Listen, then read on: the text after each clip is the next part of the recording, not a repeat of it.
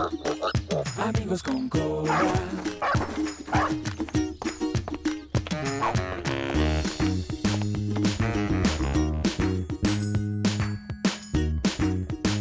Amigos con cola.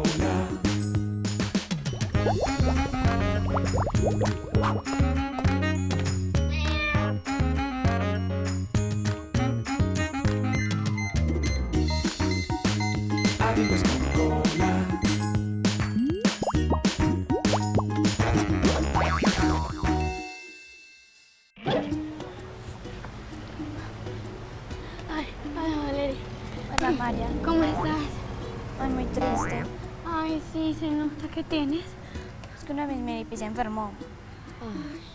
Charito, Ay, qué pesar. ¿Y qué tiene? es que no sé, yo creo que fue cuando fuimos a la granja. De pronto una enfermedad, Sí, como habían tantos animales. habían muchos. Perdón por retrasarme tanto, pero es que me cogió la noche. No, tranquila. Entonces, por eso me llamaste, para ir a la clínica. Ay, por favor, yo necesitaba que estuvieras acá. Sí. Y entonces vamos para que nos asesoren con lo que tiene tu mini pic para que se pueda curar y para que todo salga bien. Ay, claro, y sabe también para qué. Para que nos digan pues toda la información que nos dé para cuidar mejor a nuestras mascotas. Ay, sí, de una. Y recuerda, no es mascotas, es animal de compañía. Es verdad, animal de compañía, es que a uno se le olvida mucho. Sí, solo hay que acostumbrarse. Bueno, vamos. Vamos.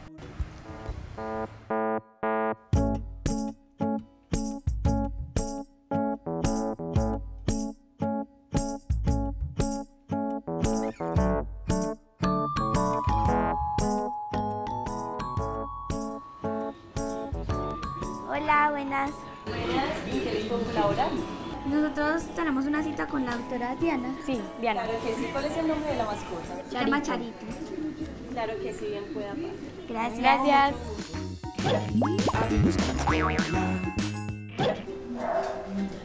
Hola niñas, ¿cómo están? Hola. Yo soy Mariana. Yo soy Valerie. Hola. Mucho gusto. Y entonces hoy te venimos a hacer unas películas. Claro que sí. Bueno, lo que pasa es que yo tengo muchas mascotas, ¿cierto? Y una ya está enferma. Y nosotras pensamos que es porque nosotros fuimos a una granja y de pronto, pues no sé, le transmitimos una enfermedad. Porque había muchos animales. ¿Qué mascota es? Es un mini pig. Es un mini pig. Bueno, en ese caso, eh, ¿tú lo tenías vacunado o le pusiste, le hiciste desparasitaciones? Pues, ¿qué planes habías hecho con él? Cuando mi mamá lo compró, eh, él ya tenía todas las vacunas. Y mi mamá es la que los desparasita, entonces, pues sí, está desparasitada y vacunada. Bueno, pero no han visitado pues como un veterinario para que les diga como cuáles son los pasos a seguir con un mini pig. No. En ese caso yo te recomiendo que visites a un experto en el área de mini pigs que te pueda explicar muy bien cuáles son los planes sanitarios que necesita tu mascota, porque con ese contacto que tuvieron ellos, pues que ustedes fueron a una granja y tuvieron contacto con otras mascotas, podría haberse contaminado con algo, entonces es mejor estar seguros que tu mini pig va a estar bien. ¿Y cuál es la importancia de las vacunas?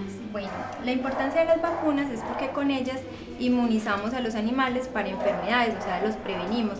¿Qué hacemos con las vacunas? Al ponerlas, hacemos que ellos creen anticuerpos y se defiendan contra las enfermedades que están en el ambiente o que están en otras mascotas al tener contactos directos, ¿cierto? Entonces, es muy, muy importante que hagamos planes sanitarios pues, y vacunales eh, para todas las mascotas. Y pues, ¿y cuáles son las vacunas como que hay que aplicar a los cachorros? Pues, ¿cuál, como, ¿cuál es el plan de Ajá. vacunas? En caso de un, de un perrito, por ejemplo, cuando nosotros eh, adoptamos o compramos o adquirimos pues una nueva mascota para la familia, lo que debemos hacer es llevarla a un chequeo veterinario. En el chequeo, ya según lo que le hayan hecho a veces en los lugares donde, de donde procedían, ya miramos si hay que hacer desparasitaciones o hay que empezar con el plan vacunal de acuerdo a la edad que tengan. Normalmente las vacunas de un cachorro, hablando de un perrito, empiezan a los 45 días de vida con una vacuna que son tres en una, que se pone una vacuna para parvovirus, moquillo y para influenza. Y se hacen con intervalos de 20 días unas revacunaciones para las mismas enfermedades, más leptospira y hepatitis que se ponen pues en las siguientes vacunaciones y la última incluye la vacuna de rabia. En el caso de los perritos también se deben revacunar ya en la, en la etapa adulta, ya se revacunan cada año para estas mismas enfermedades y se desparasitan cada 15 días, ¿listo? Hasta los 4 meses los cachorritos y después de los 4 a los 6 meses una vez al mes, ya el resto de la vida cada 3 meses.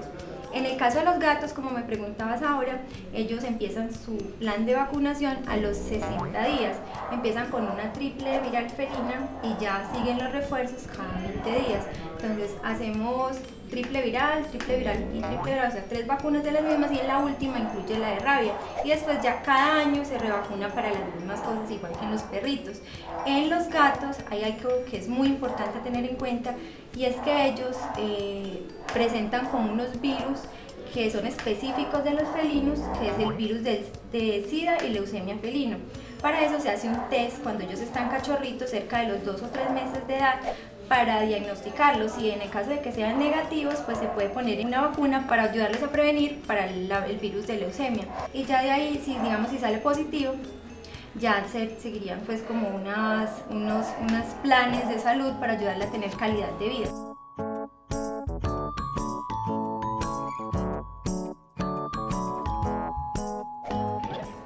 Vale, Dime. ya sé por qué es posible que se enfermó tu marranito. ¿Por qué? Imagina, ¿te acuerdas que el señor, el, el experto en los conejos nos dijo que la zanahoria, si les dan mucha zanahoria, era malo porque tenía mucho azúcar? Es posible que tú le estés dando algo en exceso a tu mini pig, entonces le hizo daño. Sí, pero es que mira que yo no les, vea, por ejemplo, yo les doy pepinillo, yo les doy lechuga, les doy banano, yo les doy la zanahoria. El banano sin cáscara, obviamente. El pepinillo pues con cáscara normal. No, y ya. Tal vez algo le estés haciendo daño. Bueno, esperemos a la nutricionista porque después mm, estamos haciendo nosotros. Sí, mejor. ayer. Hola niñas. Hola. Ustedes son Valerie y Mariana. Sí, señora. Bueno, sigan conmigo. Hola, Mucho gusto, mi nombre es Valerie. Yo soy Mariana. ¿cómo están? Bien, gracias. Es que estamos muy preocupadas por la alimentación de nuestras mascotas porque no sabemos muy bien qué, es, qué se debe comer o qué no, o qué... Entonces pensamos que de pronto eso es por eso que mi, mi animal está enfermito. La alimentación es muy importante para nuestras mascotas. Digamos que eso ha venido cambiando con el tiempo. Me imagino que ustedes, pues los perritos y los gaticos que tienen, pues los alimentan con cuido o concentrado, ¿cierto? Entonces eh, hay que tener en cuenta que eso, digamos, la alimentación depende mucho de si nuestra mascota, pues primero de la especie, ¿cierto? Si es perrito, si es gatico, si es conejito, si es cerdito. Y lo otro es de la edad, que es muy importante, es decir, si ya son, si son cachorritos o si ya son eh, adultos. A los perritos se les puede dar dulces normales, o pues no, porque no, porque sí. Bueno, mira, hay ciertas cosas que son tóxicas para los perritos y para los gaticos. Caso concreto, el chocolate. ¿Qué pasa? El chocolate en cantidades muy muy grandes puede llegar a ser tóxico para nuestros perritos, es decir, que por ejemplo se coma 6 barras de chocolate. Cuando llegan a comer tanto tanto chocolate pueden llegar a intoxicarse. Pero digamos la comida que mi mamá prepara, se la puedo dar. Bueno, esa es otra cosa. Las comidas, lo que nosotros denominamos como comida de sal, ¿cierto? No es buena para ellos. Es decir, hay que hacer una diferencia. La comida casera, es decir, la comida que hacemos en la casa, como decir el pollo, el arroz, el huevo, eso sí se le puede dar a los perritos y a los gaticos, ¿cierto? Pero no se debe cocinar en la misma forma en la que cocinamos para nosotros, porque cuando hay mucha sal, eso les hace daño a ellos. Y respecto a los cuidos, los de cachorros y los de adultos, como qué diferencias tienen. Bueno, con respecto a eso, digamos que los cuidados de cachorritos tienen mayor cantidad de energía, ¿cierto? Es decir, como de carbohidratos, porque los cachorros gastan más energía. Lo mismo tienen más cantidad de proteínas. Entonces, eh, digamos que esa es la diferencia. ¿Qué es lo que pasa? Los perros y los gatos, digamos que no todos llegan a la adultez a la misma, al mismo tiempo, ¿cierto? Por ejemplo, un pastor alemán puede considerarse que está grande, que ya es adulto, cuando tiene más o menos un año y medio, mientras que un pincher se puede considerar que es un perro adulto cuando más o menos tiene 10 meses. Entonces, eso es lo que hay que consultar con el veterinario para ver cuándo le pueden cambiar la comida de cachorrito a adulto. Y yo tengo una pregunta, porque pues los gatos comen diferente concentrado a los de los perros. Ah, bueno, esa es, eso. sí, esa es una muy buena pregunta. Los perros y los gatos son diferentes en una cosa muy importante y es que los perros no son 100% carnívoros, ¿cierto? Los perros ya han venido cambiando como, como eso, mientras que los gatos sí se consideran animales que son todavía carnívoros, ¿cierto? Entonces hay una cosa que es importantísima para los gatos que nunca les puede faltar, que se llama taurina. Entonces, todos los concentrados de gatos tienen taurina. Por eso un gatico no puede comer concentrado de perro, porque si come concentrado de perro no tiene taurina y se va a enfermar. Pues yo a mis milipis les doy frutas y verduras, pero aparte de eso, pues como que les puedo dar más, o que les hace daño, o que no. Los mini pigs son una especie completamente diferente a los perritos y los gaticos e incluso hay concentrados, así como los perritos. También hay concentrados para los mini pigs, pero ya una persona más experta en el tema te dirá cuánto le puedes dar o cuánto de frutas y vegetales les puedes dar, ¿cierto? Como para que no se te vaya a engordar mucho, que también tienden a engordarse mucho, y también para que no se te vaya a enfermar más adelante. Ah, bueno, entonces muchísimas gracias. Así aprendimos mucho contigo.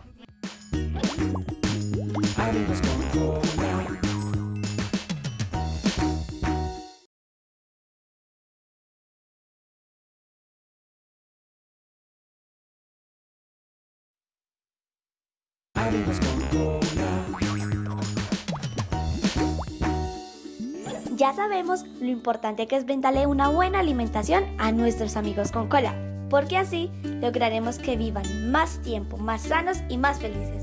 Apliquemos lo que acabamos de aprender y cuidémoslos. Amigos con cola.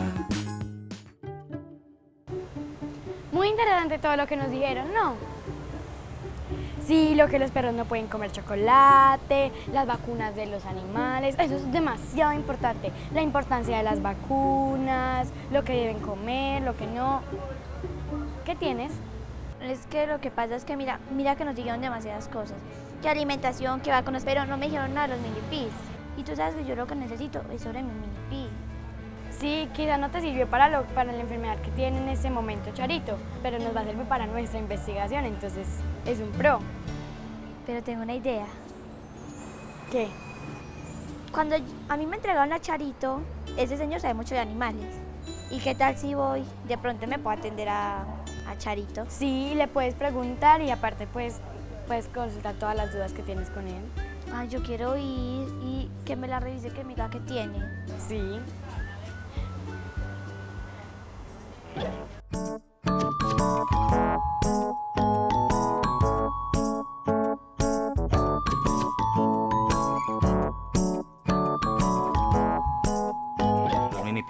Son unos animales muy resistentes, por lo general no sufren de enfermedades, a no ser que los tengas en granjas con cerdos de, de carne. A nosotros a los mini pigs solo les damos hierro a los dos días de nacidos y a los cinco, porque fácilmente les puede dar anemia, y a los 15 días les damos una vacuna contra el micoplasma y le hacemos un refuerzo a los 30 días de nacido. Los mini pigs son animales que por lo general deben de comer un 2% de su peso diario. Eh, alimentos con bastante fibra, se les puede dar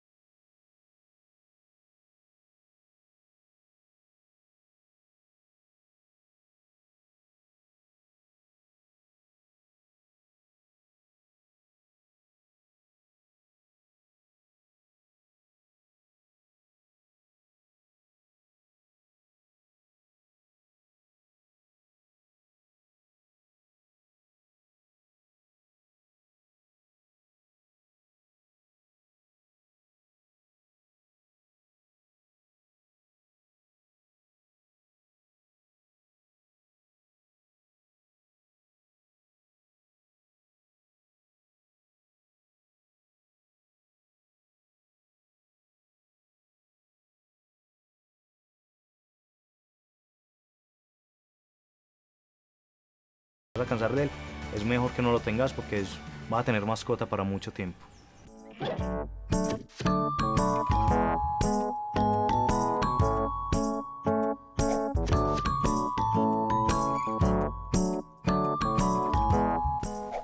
Los animales necesitarían primeros auxilios. No sé. Porque, por ejemplo, cuando a mí me duele algo, cuando estoy enferma, mi mamá me da una pastilla.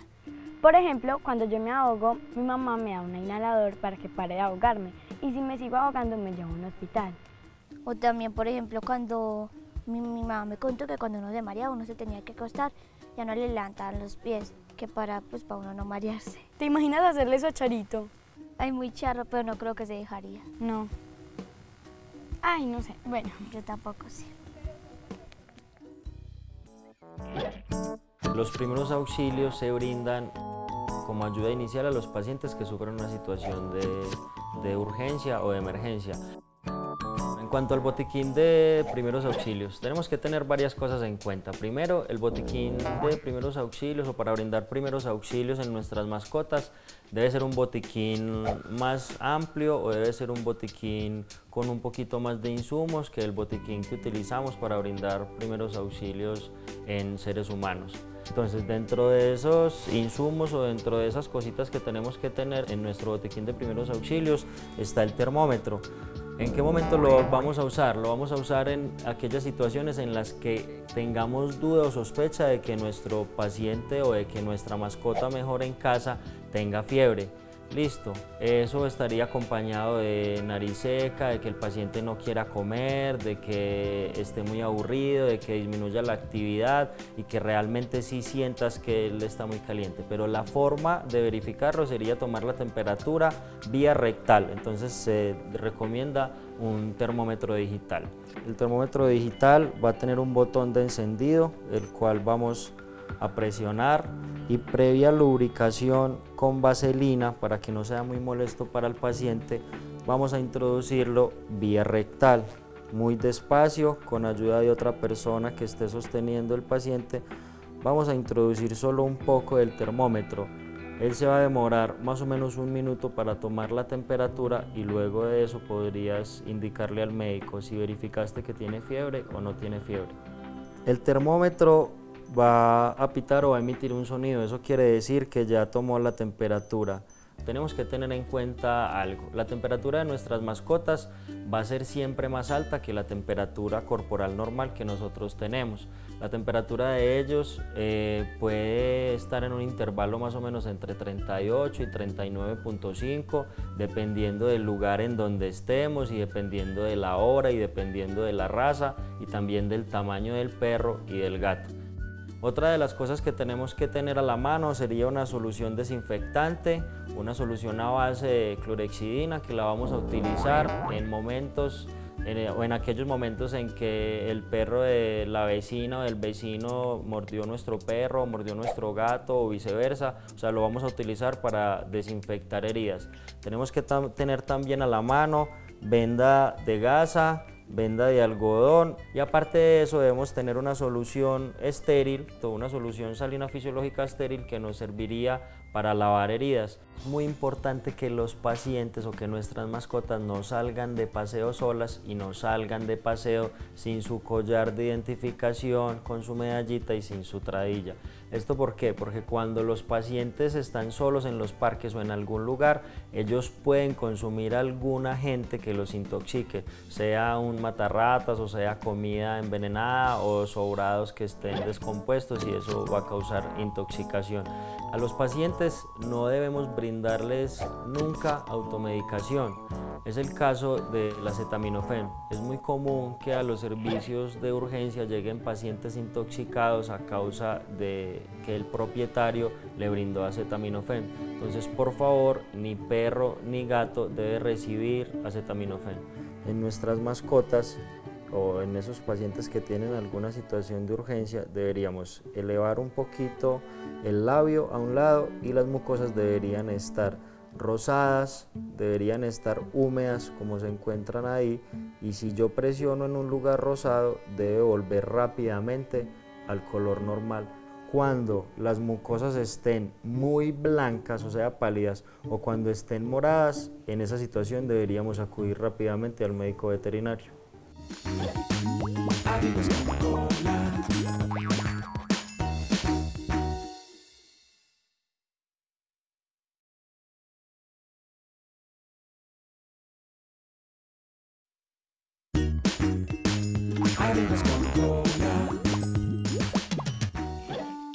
lo que acabamos de aprender de los primeros auxilios que le podemos brindar a nuestros amigos con cola en caso de emergencia. Pero es muy importante que tengamos en cuenta que esto aplica mientras nos trasladamos a una clínica veterinaria para que sean evaluados por un experto.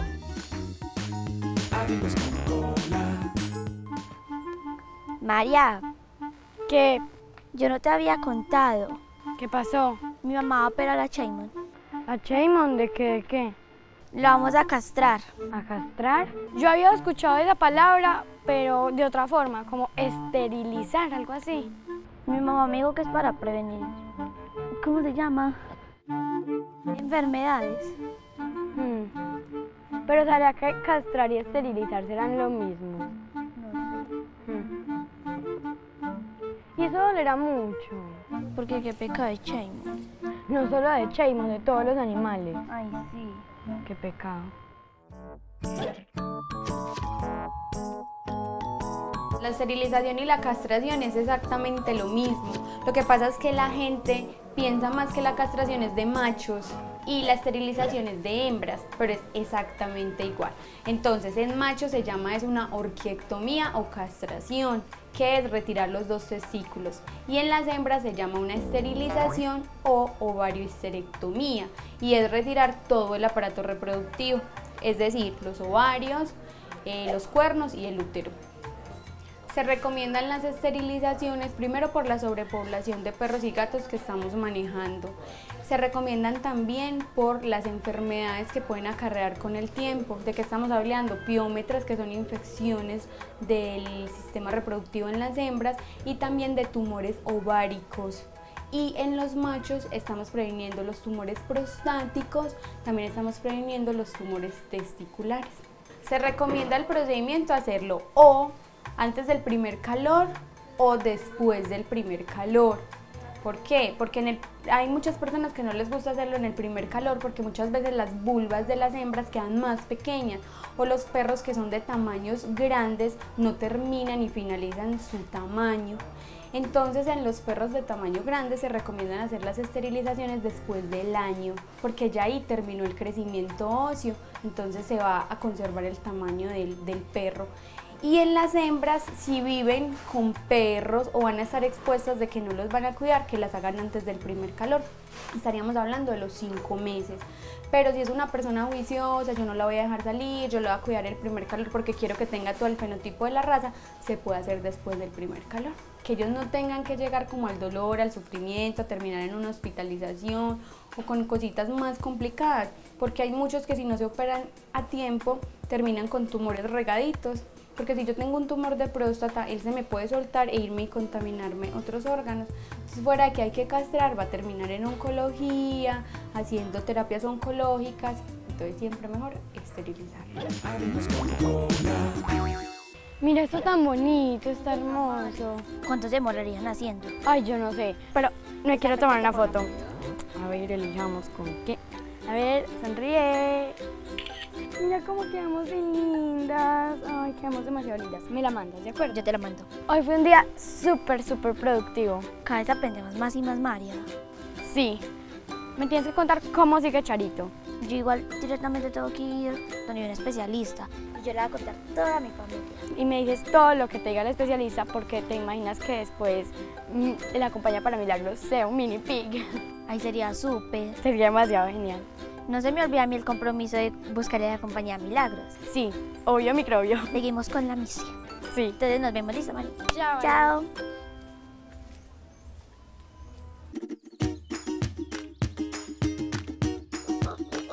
Amigos con cola. Amigos con cola.